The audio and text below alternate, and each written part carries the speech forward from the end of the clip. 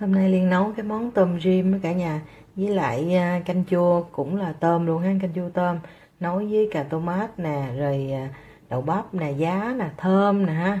Rất là ngon luôn cả nhà. Để một chút xíu nữa cả nhà coi Alexi ha, ăn như thế nào nha cả nhà, coi cái kết ha cả nhà ha.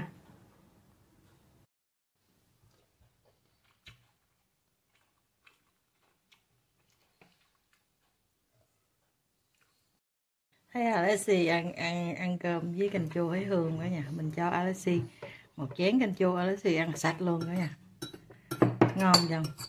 Ngon không? Ai nấu à? ngon, ngon, ngon. ngon quá ha. Thấy hương quá à. ăn nguyên ăn hết luôn à. Ăn canh chua phải ăn cơm cả nhà cho nên là phải cho lát ăn cơm mà ăn bằng cái cái chén cái tô để chan vô đó. Để đổ. Dĩa riết quen á.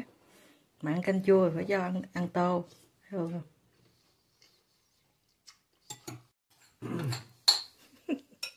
nhẹ. Chồng ăn ghét ghê quá. Nghe chưa? Ăn sạch tô cơm luôn cả nhà. Tô cơm với lại với lại ờ, chén canh chua lên cho nè. Trời ơi, sạch luôn. Rồi cái nè, còn cái miếng tí xíu nước luôn rồi, giờ hấp luôn nè. Trời ơi hương quá. Rõ ràng ăn sạch luôn. Tại liên tơ, tôm liên phải lọt ra vậy, nó mới ăn được cái nhà, chứ không sợ bị mắc cổ á. Cho nên nãy liên lọt rất là lâu luôn xe bông chồng ngon ha? Ừ. Nha. giờ liên ờ, chuẩn bị nấu cái món canh chua tôm á cả nhà. Canh chua tôm. Với lại um, tôm ram luôn tại vì liên mua tôm nhiều á cho nên là uh, nấu vừa nấu canh chua vừa nấu tôm uh, làm tôm ram ăn luôn. Hôm nay liên sắc ra rồi luôn. Liên ngào với đường ướp với đường chút rồi. Ở này cà cà tomat với lại đậu bắp. Đậu bắp bên này nó cũng tươi lắm cả nhà nó hơi mắc chút 10 đồng ký là khoảng hai trăm rưỡi ngàn đó. Nhưng mà nó cũng ngon lắm. À, liên thích ăn đậu bắp mà nấu canh chua rồi thì ăn thôi. Đó liên mua. Này tỏi liên bằm sẵn rồi. Còn này thơm. Thơm liên sắc ra còn dư tại trái thơm bự lắm. Này giá nè. Giá này mua cũng hai ba ngày rồi nhưng mà cũng còn tươi. Đủ đồ cho nên liên mới nấu đó.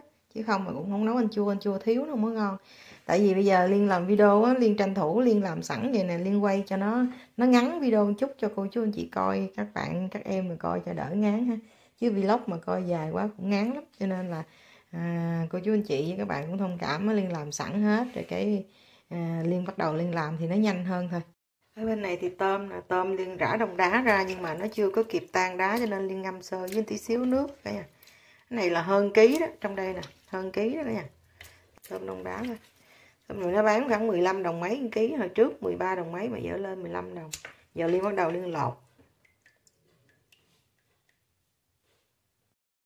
Hơn cả ký tôm đó cả nhà. Mà liên lột ra giờ nó còn như đây chưa được tô nó còn nửa tô hơn. Nãy thấy quá trời ha. Giờ liên bỏ tí xíu một niêm vô. Niêm ướp đó cả nhà.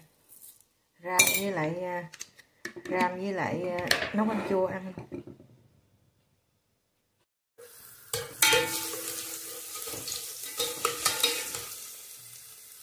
Tỏi vô luôn tôm này liên sẽ cho một nửa để nấu canh. Còn một nửa thì để để chút ram á cả nhà.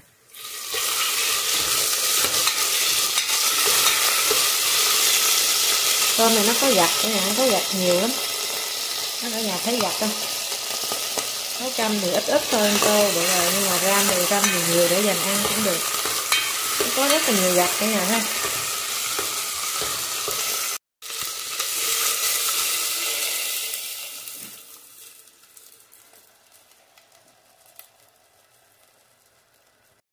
Cho luôn cái thơm vô cho nó ngọt cả nhà. Ra có người người ta sẽ xào thơm cả nhà đó, nhưng mà liên liên không xào thơm mình thích để cái thơm nó tươi vậy nè. Nó ra nước nó sẽ ngọt hơn. Mỗi người nấu một cách cả nhà ha. Vì tôm nó mau chín lắm nó sôi lên cái là mình, mình niêm thôi.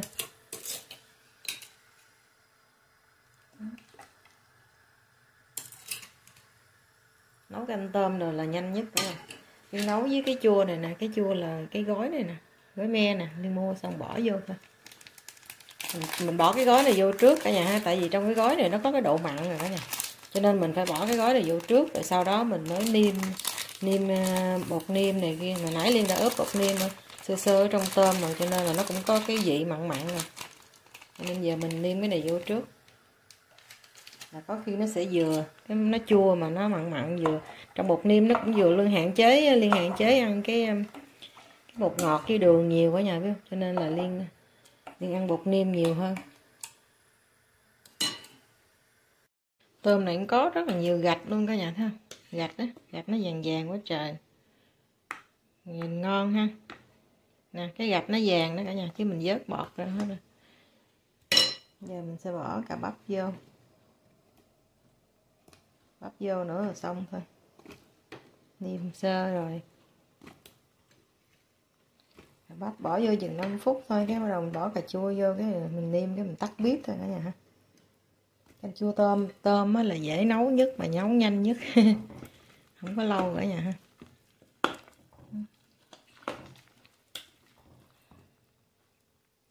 Nó đang nấu, mình bỏ cái này vô, bắt đầu mình làm cái này luôn cả nhà. Tôm ram luôn. Nhanh chín nè. Gặt quá trời.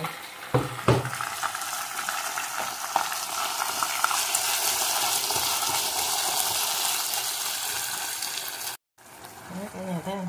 Tôm nó rất là ngon. Cái này cái này là là cái cái gạch nó ra đó nha cả nhà. Cái gạch nó ra nó sạch sạch là gì nè? Nó rất là ngon. Đơn giản vậy thôi, rồi mình tắt thôi, chứ cũng không có làm gì.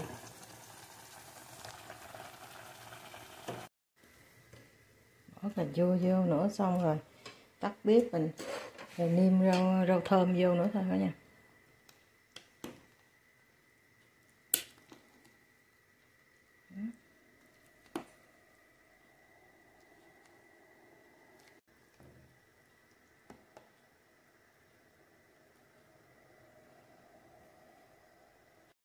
Rồi, cả nhà xong rồi đó. Cả nhà thấy không? Bỏ tí xíu giá vô. Bỏ rau rau rau ôm á. Rau ôm với ngồi gai mình mua, mình bỏ tủ đông á cả nhà. Chứ không có tươi đâu ha. Không có mua tươi bây giờ. Đó. Rất là ngon là canh chua xong. Canh chua tôm. Rất là nhanh và đơn giản cả nhà ha. Đơn giản, dễ nấu và ngon. Và bên đây thì à, tôm à, tôm ram xong luôn rồi đó. Cái này nhanh thế nhà ha. Xong rồi. Đó ăn cơm thôi. Canh chua cũng chín rồi. Bỏ hành phi rồi tỏi phi rồi sẵn vô, nó ngon.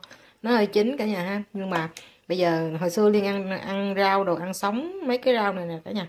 Nấu sừng sực sừng sực ăn á, chứ không có nấu chín đâu. Nhưng mà bây giờ liên ờ, không có nấu sừng sực gì ăn nữa. Tại vì mà trong mấy cái rau này phải nấu cho thiệt là chín. Ăn cho nó tốt chứ không thì nhiều khi cái ruột mình yếu đó cả nhà.